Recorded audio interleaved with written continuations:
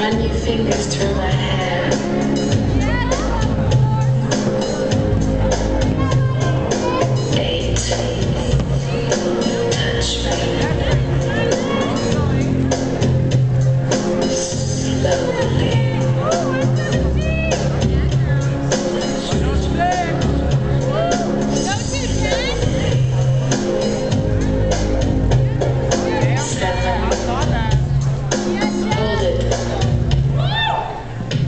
Let's go straight to number one.